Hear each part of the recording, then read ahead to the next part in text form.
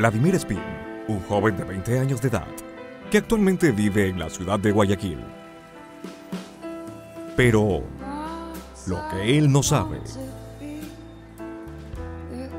es que por cada lugar que él va, se va a encontrar con bacterias microscópicas, ya sea en el aire que respira o los lugares públicos que toca.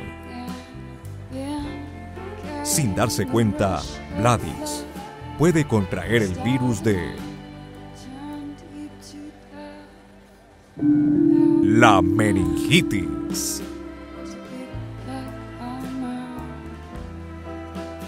Veamos cómo puede llegar a contaminarse en el transcurso de su trayectoria.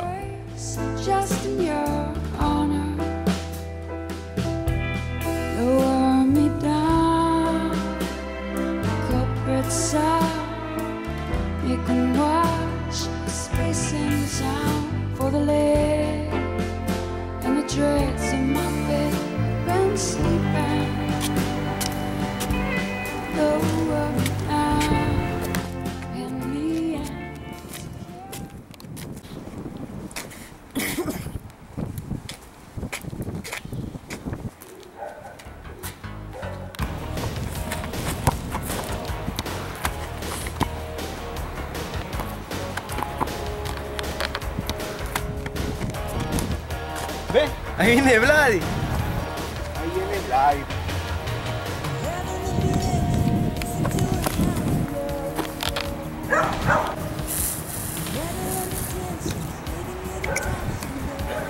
¿A dónde, Vladi?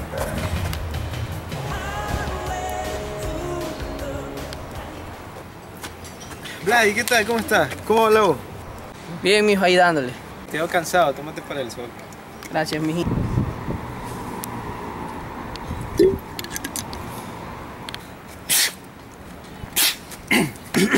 Vladi, a los años que te vas a ver, hermano. ¿Qué más? Estás perdido. ¿Todo bien? Todo bien, todo bien. Pilas, mijo.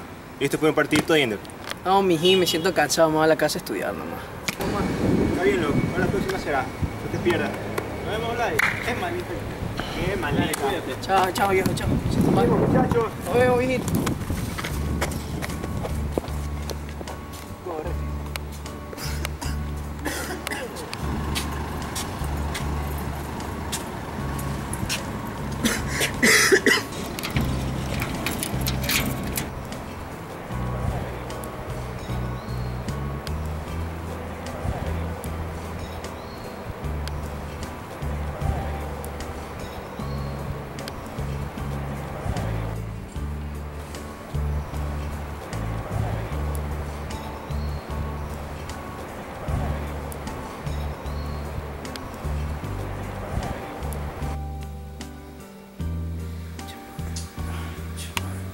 Nada.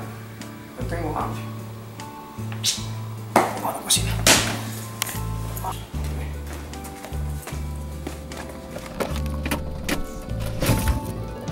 Chuta, a ver qué como. A ver, vamos a buscar.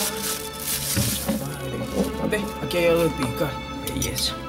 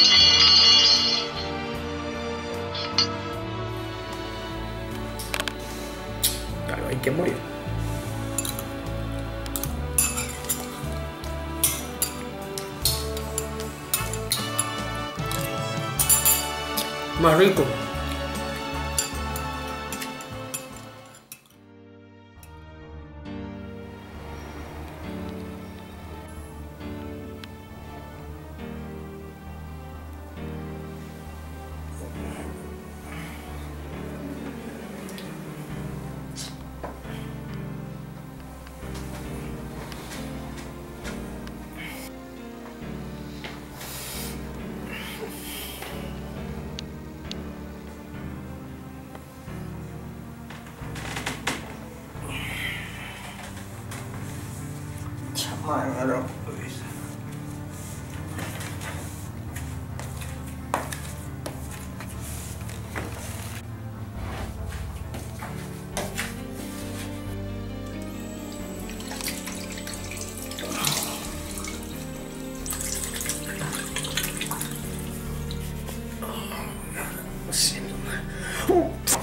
Oh,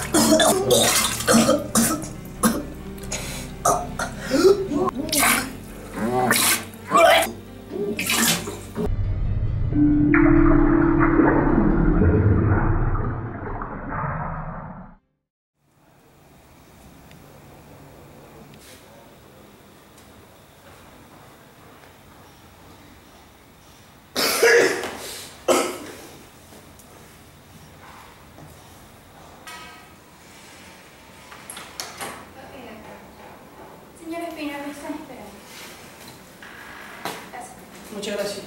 Permiso, muchas gracias. Doctor, ¿cómo estás? Muy buenas. Bueno, señor Espino, dígame, ¿cuál es el motivo de su visita? Bueno, doctor, la verdad es que me he sentido muy mal. He sentido malestar general, me siento cansado, débil. También me duele mucho la cabeza, en verdad. Y cuando fui al baño, que me levanté para lavarme, vomité, pero nunca tuve náuseas, manché todo. Me siento muy mal, doctor, de verdad, me siento mal. Bueno, señor Espino, lo que usted tiene en ese momento, de acuerdo a los síntomas y signos que me ha dicho, es meningitis. meningitis. ¿Y, ¿Y qué es eso, doctor? La verdad es que no, he escuchado, pero no sé qué es eso. La meningitis es una infección causada tanto por virus como por bacterias que van a afectar lo que es las membranas que van a envolver su cerebro. Vamos a tener que estas meninges, al estar infectadas, al inflamarse, van a provocar los síntomas que usted tiene. Un dolor de cabeza, fiebre, eh, el vómito en escopetazo, que son agentes secundarios de lo que a usted le ha pasado. Doctor, ¿y bueno, cómo puedo tratar la meningitis? ¿Qué puedo hacer para curarme?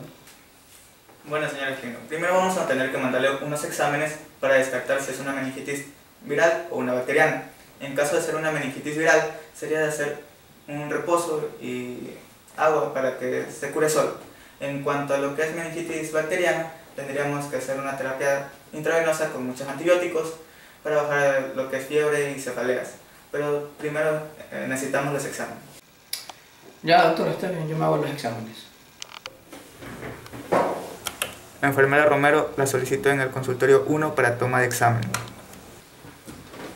Bueno, esperemos a ver cómo salen los exámenes para ver si podemos hacer algo.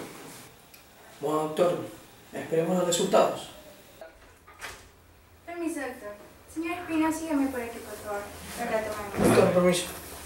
Por aquí. Gracias, señorita.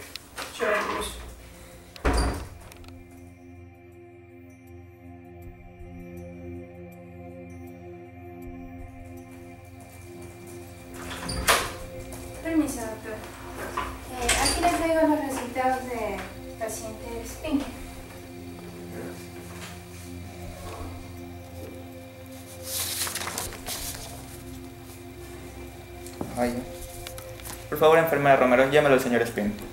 Listo, doctor.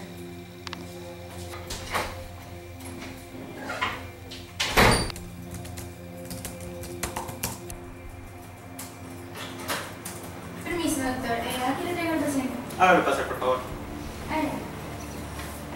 Muchas gracias. Doctor, y bueno, ¿qué dicen mis exámenes? Bueno, señor Espino, con los exámenes que tengo en mis manos puedo decirle que confirmamos la sospecha de meningitis bacteriana.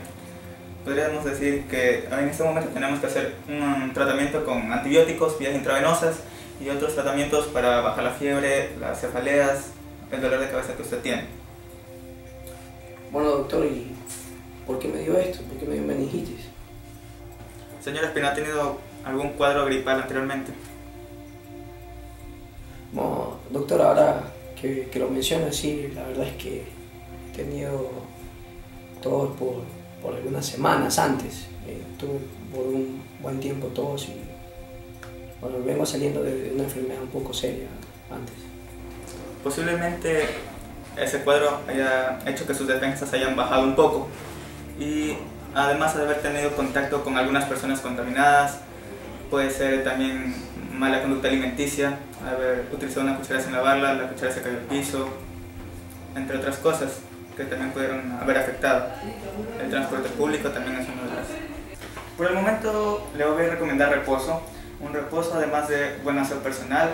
Eso incluye lavarse las manos antes de comer, después de comer, después de ir al baño. Lo que es higiene de los cubiertos, desinfectar los alimentos. Sobre todo, todo lo que sea para el cuidado de usted y de su familia, para que no haya propagación de, de esta bacteria. Bueno, doctor, así, así lo haré. Muchas gracias por todo. Un placer. Hasta luego.